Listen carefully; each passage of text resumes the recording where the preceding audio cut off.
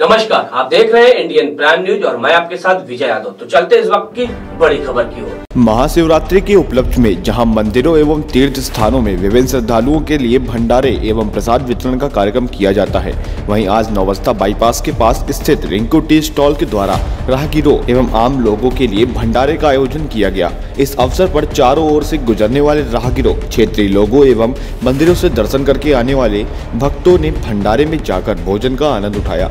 रिंकू केसरवानी ने बताया कि महाशिवरात्रि के उपलक्ष्य में भंडारे का आयोजन किया गया है, ताकि राहगीरों एवं भक्तों को शिवरात्रि के पावन पर्व में प्रसाद के रूप में पूरी सब्ज़ी सहित मिष्ठान खिला सके। निःशुल्क भंडारे का आयोजन किया गया था, जहाँ पर हज़ारों की संख्या में लोगों ने भंडारे का आनंद उठाया। इस मौके पर आयोजक मंडल, रिंकू केसरवानी भोजनालय, रिंकू केसरवानी, पिंटू केसरवानी, अरुण केसरवानी आदि लोग मौजूद रहे। कहाँ पर क्या कार्यक्रम किया जा रहा है? आज हमारे यहाँ शिवरात्रि ग्यारह तारीख है। ग्यारह मार्च को हम लोग पाँच पाँचवा भंडारा है हमारे यहाँ। और हर पाँच साल से इसे हम लोग करते चले आ रहे हैं। लगभग कितने लोग प्रसाद ग्रहण कर चुके होंगे? लगभग कम से कम दस ग्यारह हज़ार लोग आदमी कर दस ग्यारह। कब से शुरुआत चल रहा है और सुबह नौ बजे से भंडारा चल रहा है मेरा।